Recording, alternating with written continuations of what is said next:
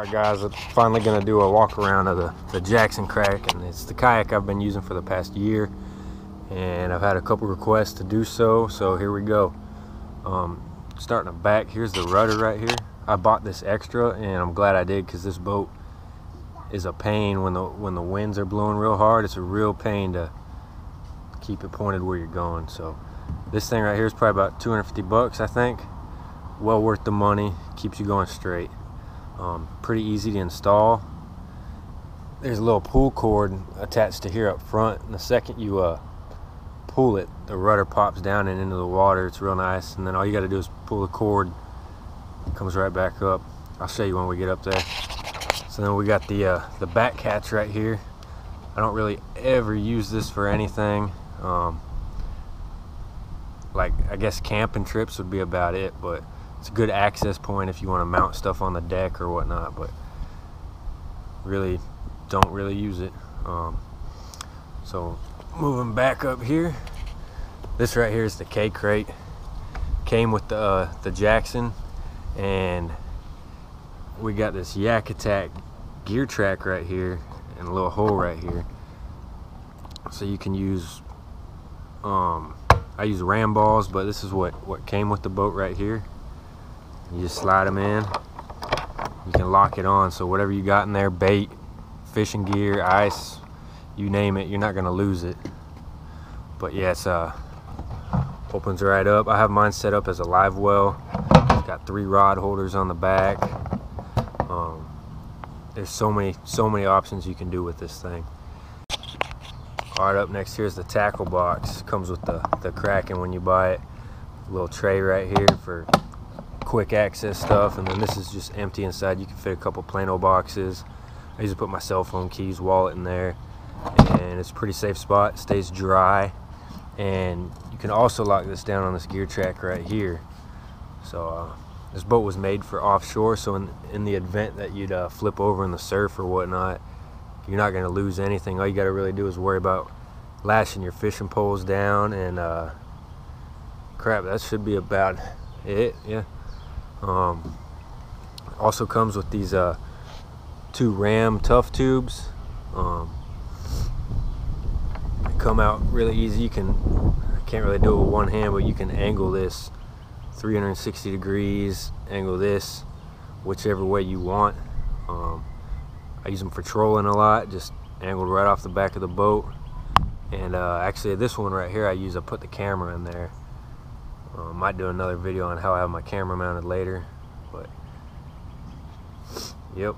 And then each side you got the flush mount rod holder. So what do I got? Three, four, five, six, seven. I could have seven rods on here if I want. I've never brought seven. Usually bring four, but if I wanted to bring seven, there you go. So uh, moving on up is the seat right here.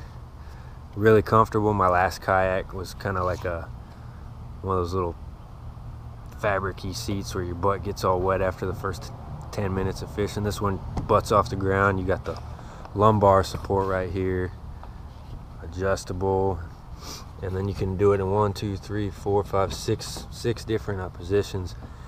Jackson markets this as uh, what do they call it? They say you can trim your boat up or down with it.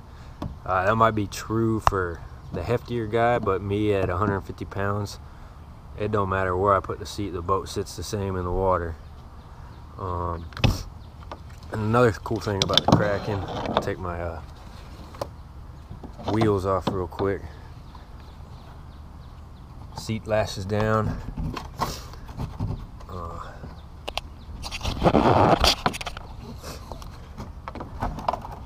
let's take the seat out this scupper hole under the seat fits a, a tsunami bait pump. And I had it set up at one time but when I went to Pompano Beach I kind of messed everything up so I got to redo it. I have the wires coming back under here.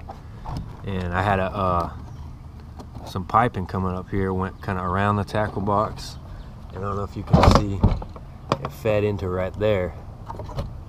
And it pumped fresh water and I had a hose coming off of here and it just circulated um, fresh water the entire time. I never had a problem with bait dying ever.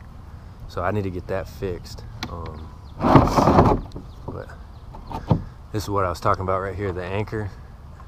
Anchor, or the, excuse me, the uh, rudder. You pull this, and it shoots back and your anchor pops down. Uh, what else we got up here? A little paddle holder right there. And then we got this front hatch right here.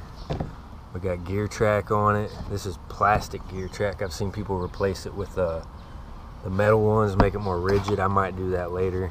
Uh, I don't really mount anything on here except my fish finder right here. Um, we got the little light.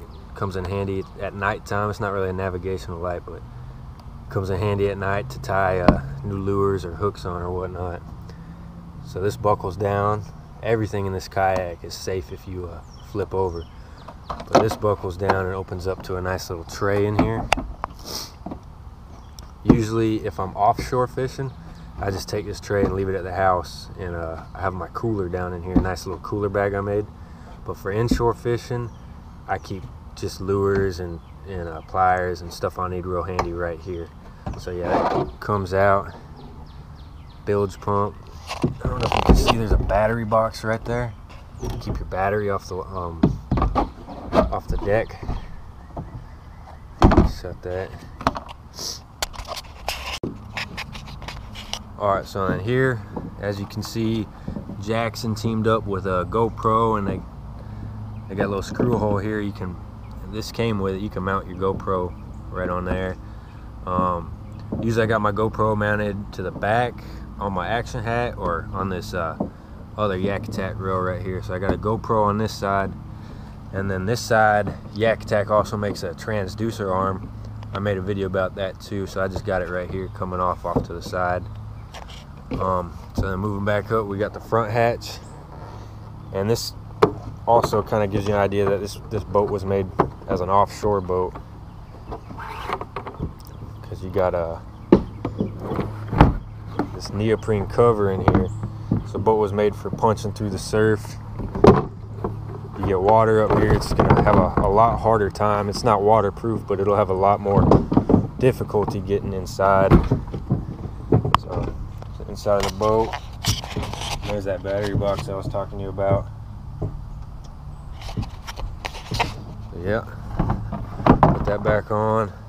Sturdy, sturdy carrying handle, and I've never had to use this. I never get water inside my boat. All right, guys, there's the uh, Jackson Kraken for you. It's an awesome boat. Wouldn't fish out of anything else. Um, if you have any questions, if I missed something, or you want to know something a little more in depth, leave a comment below, and I'll get back to you on that.